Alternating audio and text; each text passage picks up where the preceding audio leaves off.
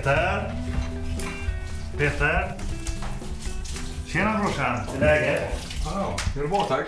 Jo, jag har skrivit ett brev här till eh, värnpliktskontoret om att få frisedel. Okej. Kan jag läsa det för dig innan jag skickar iväg det? Absolut, spännande. Ärade nämnd med blodsbesudlat arv.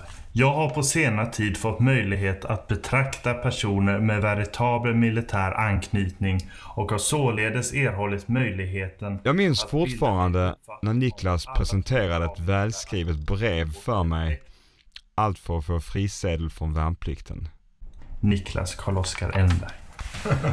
Lång mening. Jättebra.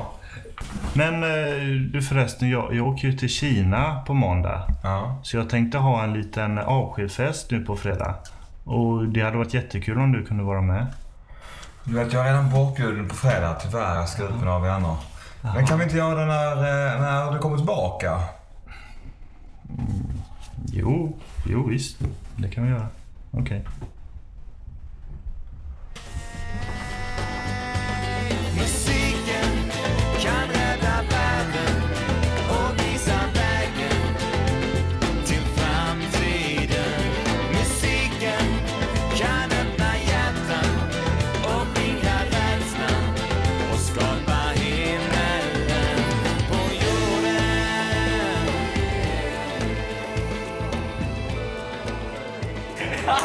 Tack så jättemycket. Men jag, jag måste tyvärr lämna nu. Och jag är så tacksam att ni kunde vara här ikväll. Det betyder jättemycket för mig.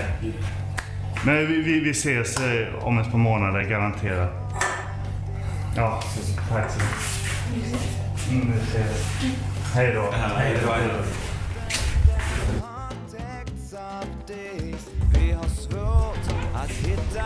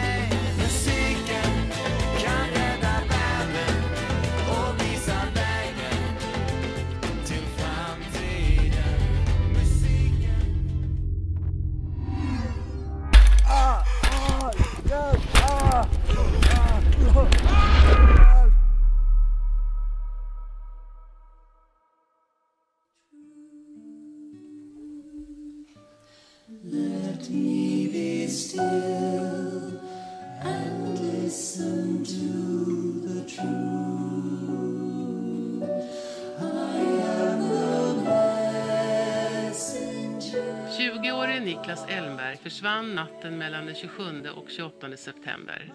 Efter en kväll tillsammans med sina vänner cyklade han mot föräldrahemmet. Onsdagen den 2 oktober hittades Niklas misshandlad till döds. Polisen har inte funnit någon gärningsman eller motiv. Niklas hade inga ovänner.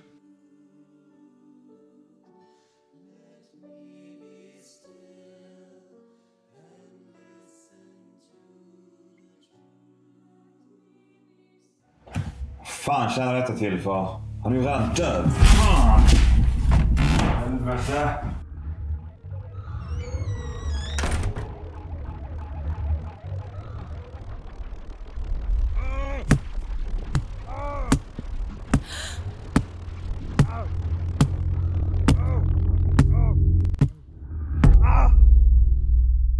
Min mamma stöttade mig i att skriva en låt och senare spela in en skiva som en reaktion på det inträffade.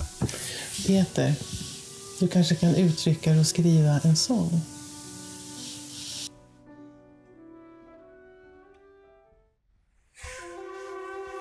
Efter Niklas bortgång valde jag att resa utomlands för att finna svar och vägledning. Jag studerade i Australien, inspirerades av aboriginals. Jag reste till Västafrika för att ta del av ursprungskulturen där. Jag bodde även i tempel och studerade indianhistoria. Jag minns fortfarande vad den där indianen sa. Tänk sju generationer framåt innan varje viktigt beslut. Eh, muestra de ello es lo que hicieron los mayas. Eh, Via stipendium från IM fick jag möjlighet att resa bland tibetanska bosättningar och möta Dalai Lama. Som kommer att bli en viktig inspiration för mig kring tankar om försoning och icke-våld. Jag undrar ofta hur det kommer sig att många män i, i den buddhistiska traditionen väljer att spendera ett år i tempel medan vi svenska män i min generation tvingades göra värnplikt hemma i Sverige. Vad vill du? Jag känner att jag vill avsluta min militärtjänstgöring. Nej, det går inte. Varför detta? Jag känner att jag vill inte liksom lära mig att döda mina bröder. Det spelar ingen roll vad du vill. Du ska stanna hemma. Efter juluppehållet så kommer jag inte tillbaka hit. Nej, det gör du visst. Du kan ha dina förbannade kläder. Jag kommer aldrig mer hit igen. Du får sätta mig i finkan om du vill. Då skiter jag i detta. kan du inte göra! Efter att ha lämnat värnplikten hade jag inget arbete eller sysselsättning. Så jag började spela gatumusik.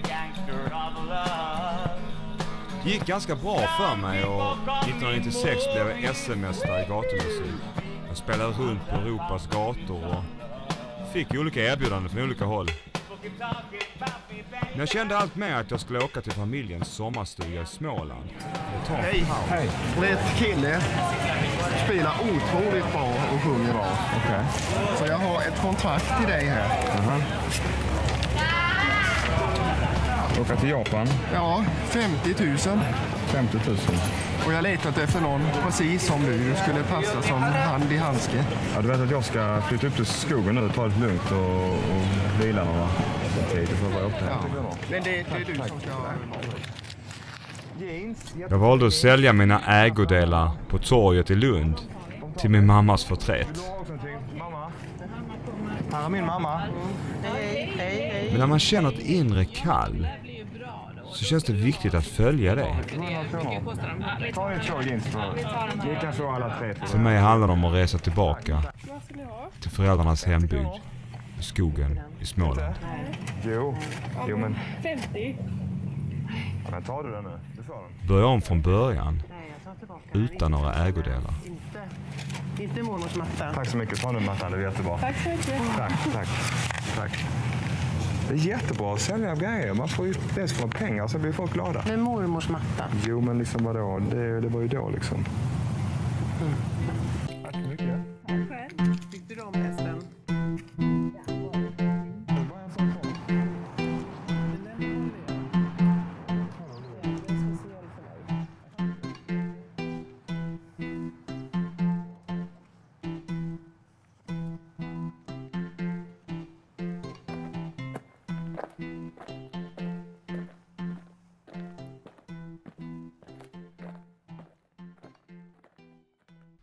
Jag längtade till ett liv utan radio, TV, telefon, dator, bil, cykel. Alla de här sakerna man samlar på sig i livet.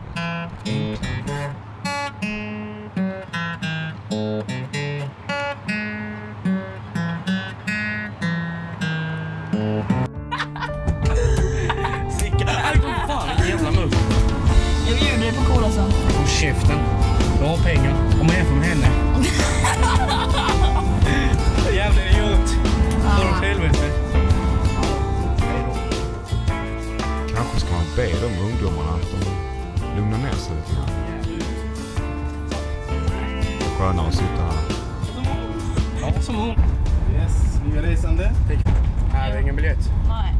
Jag har ingen biljett. Nej. Vi kan gå vidare. Kan du bara ta bort äh, tänker jag inte göra. Du kan bara gå. Kommer om en stund. Nej. Säkert någon annan som rycker in. Vad ska vi göra ikväll då? Nej, jag tänkte vi kan mörda någon. Varför det? Så vi kommer med Efterlyst. Nej, Eller vad tycker idé. du? Nej, det är ingen bra idé. Varför ska du göra så? Vad är ni säger? Mörda någon? Ja, varför inte? Du vet, min bror han blev mördad. Och det var med Efterlyst. Det var en ganska så jobbig upplevelse att, att följa det. Ja. Man ska vara lite försiktig vad man säger. Ja. För att, eh, jag tror inte ni vill det egentligen. Nej. Men, eh, men ibland så kanske man säger saker man inte menar egentligen. Ja. Och det här så tycker jag ni ska betala till konduktören också för att det är viktigt att vi alla betalar för oss. Jag måste hoppa av nu. Ha det så bra, ta hand om er. När jag hoppade av det där tåget så var det en kvinna som klappade mig på axeln och sa Det där var pedagogiskt gjort. Kanske är det så att när vi vågar agera i stundens allvar så är vi automatiskt pedagogiska. Vi säger livet är med. Livet är med. Vårt sanna hem är hjärtat, det följer alltid med. Vart vi än färdas, vart vi än är. Jag skulle börja om mitt liv i skogen. Dags att Ett enklare liv.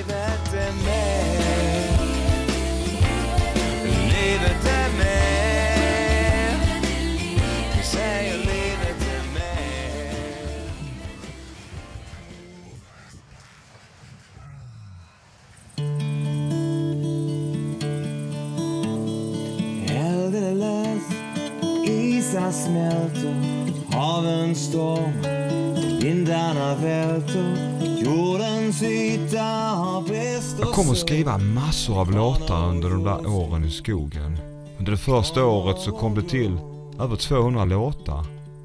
En dag stod jag i potatislandet och liksom vägde mellan potatisarna. Ska jag gå ut med min musik och dela med mig av det? Eller ska jag sitta kvar här i skogen?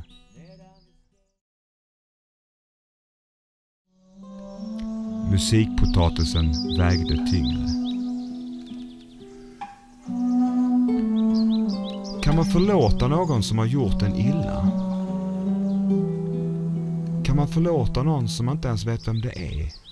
This day I choose to spend in perfect peace. Jag funderade mycket på de här tankarna. This day I choose to spend in perfect Jag insåg att jag hade sprungit ifrån mig själv och jagat lyckan där ute. Men när jag satt här i skogen så insåg jag att jag måste möta min inre smärta. Jag satte mig på en sten och någonstans försonades med min historia. Och när jag lämnade den här stenen så kände jag någonstans en känsla av att jag får lov att vara lycklig. Jag funderar lite grann på om vi skulle köpa det här huset i Mundekulla. Ja, du menar det här gamla huset som håller på att förfalla, där som vi var och tittade på? Ja, tänker vi skulle kunna göra lite arrangemang där. Ja, det hade ju kunnat bli en jättefin kursgård.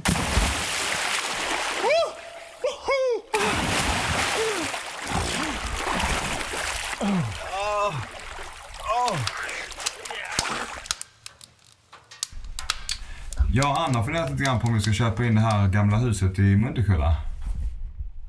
Ölhuset som har stått tomt i 15-16 år. Och det slutade med att min pappa köpte in huset. Gården i Mundekulla inköptes 1998 och en varsam restaurering ägde rum. Genom åren har nya byggnationer tillkommit och tusentals människor från när och fjärran deltar årligen i olika aktiviteter på gården.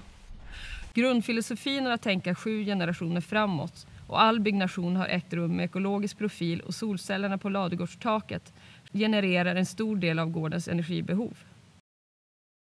Avslutningsvis vill jag säga vi har alla våra utmaningar i våra liv. Och vi har också möjligheter att skapa det bästa av de förutsättningar vi har. Låt oss tro på våra drömmar. Stort tack!